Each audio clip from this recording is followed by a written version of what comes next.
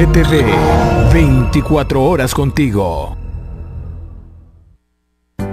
Los padres de familia son responsables de lo que sus hijos ven. El siguiente programa es clasificación D. Para mayores de 18 años. Dirección General de Espectáculos Públicos, Radio y Televisión. Ministerio de Gobernación y Desarrollo Territorial.